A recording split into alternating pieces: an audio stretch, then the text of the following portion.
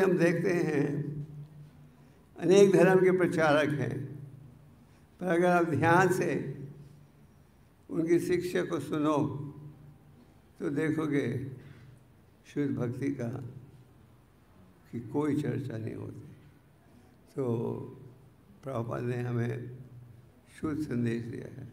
कि प्रभुपाद अमेरिका गए थे, वो उस समय के उपस्थित स्वामी इत्यादि कह रहे थे। स्वामी जी, आप ये उपदेश दोगे, कोई नहीं सुनेगा। प्रभु जी को विश्वास था कि ऐसी संदेश प्रकट करने पर लोग सुने। तो इस श्लोक के तात्पर्य में प्रभुद ये बता रहे हैं, कृष्ण भगवान परम भगवान है। भोक्ता राम यज्ञ तपोसम सर्वलोकम महेश्वर। सूदसभूषणम यादवम संदमति भगवान है असली भोक्ता हम अज्ञानता में क्या सोचते हैं?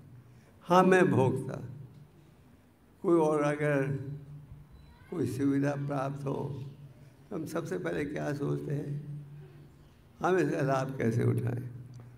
धन प्राप्त होता है तो हम सोचते हैं, बड़ा मकान बनाना चाहिए।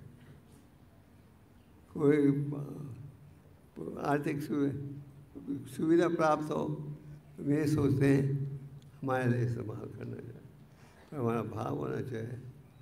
जो कला है, जो योग्यता है, जो सफलता है, इसका उपयोग करो भगवान की सेवा में। जैसे धनी व्यक्ति की कमी नहीं है, भारत में भी।